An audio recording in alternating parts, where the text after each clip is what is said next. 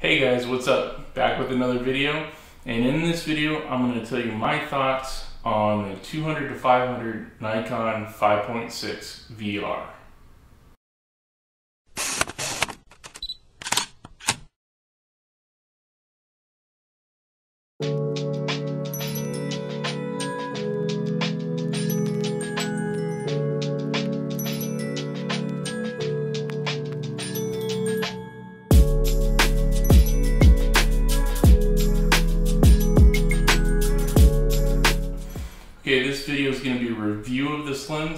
Um, I've had this lens for almost about a year now, and I've used it from everything from mainly wildlife is what I bought it for, uh, photographing birds, um, small animals, things like that, uh, to actually shooting landscapes with it, uh, being able to isolate um, peaks in certain situations uh, that I've been out in the field and I've seen and I've been able to utilize this lens for.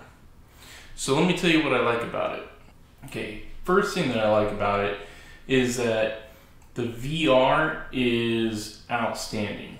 Um, at 500 all the way out, 500 millimeters, um, I've been able to hand hold shots uh, and actually break the the one to one rule or the two to one rule that you want to be double whatever your uh, focal length is, and I've been able to shoot 400 millimeters, uh, or I mean 500 millimeters at 400 shutter speed, um, sometimes 300th of a shutter speed or one 300th of a second, and and still get sharp images. So for per, for me personally, that's a huge win. Um, you, you you know, to be able to handhold shots at, at that kind of shutter speed to allow even more light in and keep that ISO down uh, is fantastic. All right, next one is the optical quality. Um, you know, you can talk about VR, you can talk about its versatility, 200 to 500, um, the 5.6 constant f-stop. There's a lot to talk about this lens, but it doesn't matter if it doesn't produce quality images, right? I mean, that's what we're all looking for. That's what we're all um, looking to purchase it or looking in a lens when we own it is whether it's going to create that high quality, uh, sharp image. Anywhere from 200 millimeters to 500 millimeters, this lens is sharp.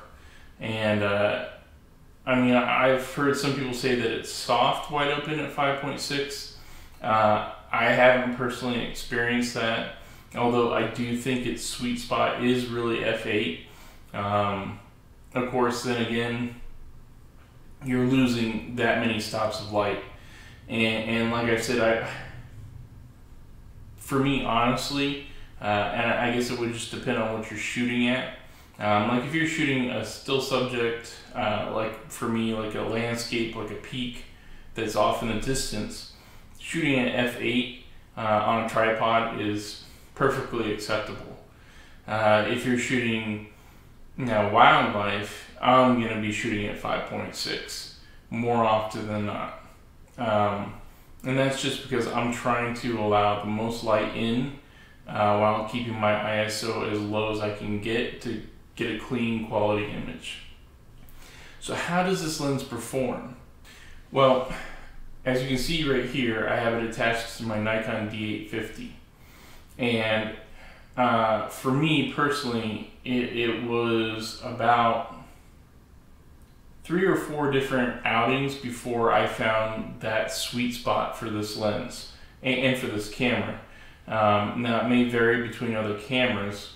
I know with the D500 that it works particularly well with the 3D tracking. Um, Whereas with the D850 that I have here, um, I've noticed that it works best on continuous autofocus and on the nine points. Um, so like the dynamic focus where you have the main center point and then the nine surrounding points. Uh, I, I have found, at least for me and from my tests, that works the best. It's the most consistent and it is able to track subjects rather well and I get more shots that are sharp and in focus and in frame than I do um, using any other kind of focusing. So what do I not like about this lens? Well, it is a very large lens, um, especially uh, when you consider the weight is that pretty comparable to like let's say the Tamron 150 to 600. It, it's pretty comparable. And then of course, uh, the advantage is you're getting the 5.6 constant f-stop, whereas the Tamron you're getting the 6.3. Even with the Sigma, you're getting the 6.3 and a variable in both. So that's the trade-off. You're going to lose a little bit of focal length to get that constant f-stop, which for me that's perfectly acceptable. But as you can see, if I zoom this thing out, turn the lock off, right? And if I zoom all the way out, you know, the lens gets very large and that can be a little bit of an issue when hand holding. Um, trying to get, you know, follow or track birds in flight, let's say. Um, you know, it, it's it's difficult to carry around for a long day of shooting. It's not something that I would probably enjoy carrying around for more than a few hours. Okay, so the upgrade that I made to this is the foot stand. Now, with the foot stand, uh, this is not the Nikon one that it comes with. I actually got one and it's from iShoot and um, it was off of Amazon. And what I like about it is that the bottom plate versus the Nikon one, there's two advantages. Uh, the foot basically is bigger, uh, which is super helpful, especially um, being able to hold it, carry it, balance it in your arms. Or you know, I use it as a another point of contact when I'm using this lens. Uh, but also, uh, it's also Arca Swiss on the bottom. So it already works with all my existing tripods. And so I can just slip it right in. I don't have to worry about attaching a, uh, a plate to it or anything like that. It's just ready to go. And so that was the one upgrade that I did make to this.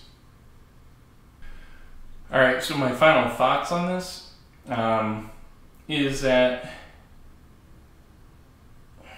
the focusing is, I would say, 80% there. Um, it will occasionally hunt at 500 millimeters, at 400 millimeters. Um, not very often, but more noticeable at 500 millimeters.